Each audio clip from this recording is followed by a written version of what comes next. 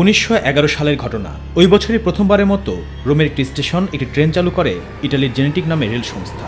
উদ্বোধনের দিনে সব যাত্রীদের বিনা টিকিটে ঘোরানোর ব্যবস্থা করেছিল সংস্থাটি। এক একে ট্রেনে একশো জন যাত্রী বসে পড়েন। সঙ্গে ছিল ছয় রেলকর্মী বেশ ভালোভাবেই রওনা হয় ট্রেনটি, তবে সেটি আর তার গন্তব্যে পৌঁছায়নি। হারিয়ে যায় মাঝপথেই সে সময় কেউ কেউ বলেছিলেন, ট্রেনটি একটি সুড়ঙ্গের মধ্যে প্রবেশের পর আর বের হয়নি।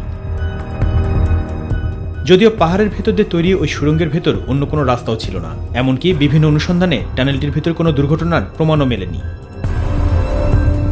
অনেকে বলেন সেই ট্রেন থেকে দুজন লাফিয়ে পড়েছিল ধোঁয়া দেখে, যদিও সেই দুজনকে পরে আর কখনো দেখা যায়নি।